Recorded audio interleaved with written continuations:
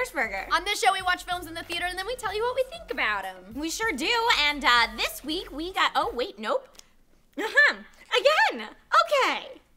We sure do. And if you don't have time to go to the theaters, you can always go to netflix.com/slash sourcefed and get a free month of instant streaming on Netflix and watch movies there. But since we didn't do that, no, we went to the theater. We saw Riddick today. We did.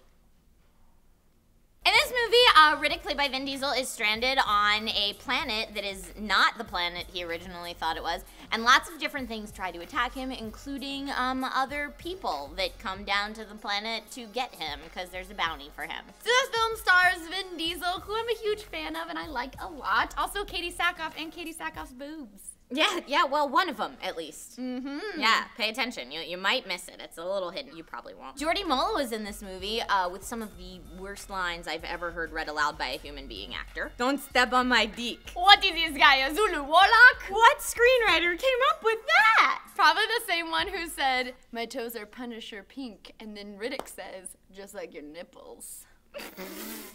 also, Karl Urban is in this film for all of four seconds. I don't know why he's the second build, but hey, he looks good. Maybe he read the script and was like, yeah, I got a half a day on set to give you. So, quick review you're gonna go to the movie theater right now. Should you see Riddick? No!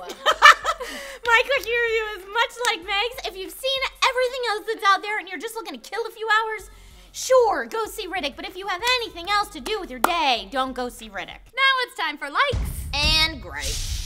I could see in the dark a Riddick. you like that sound effect? So my likes in this film are uh, Riddick teams up with a dog in this movie, which I really like. I really love the dog. It's super cute, and um, it was easily the best part of this movie. It's not also, really a dog, it's more like a hyena. Vin Diesel, I love, and he is easily the best part of this movie. So if you're not a fan of Vin Diesel's acting, that's where this movie sets the bar.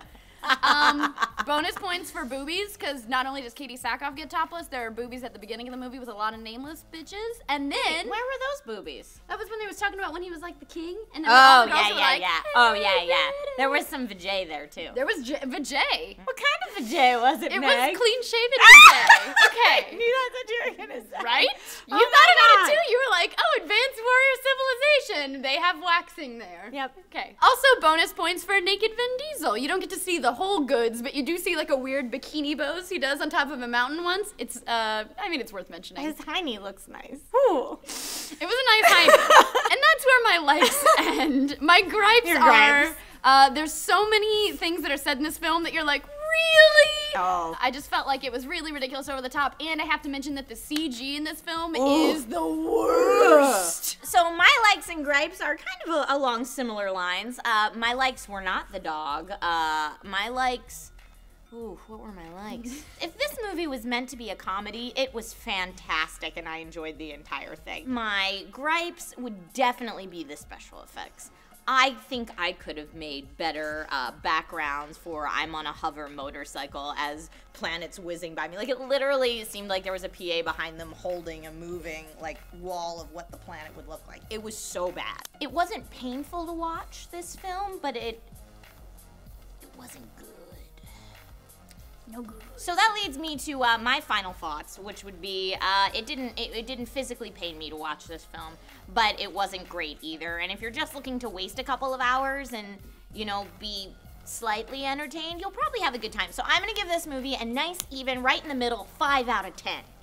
Oh, you're so nice. My final thoughts. I love Vin Diesel. Baby, why you hurt me? Because I don't want to hurt you. And uh, boobies and also um, funny lines. We did have a great time watching it. If you're not completely sober, this film is going to be pretty Yeah, enjoyable. it was an awful film, but you, you they're they're two hours of your life that you may not wish to repeat, but they were a fine two hours while they happened. I would even say they're not a fine two hours, but they're a two hours that happened in your life. I'm gonna give this film a four out of ten.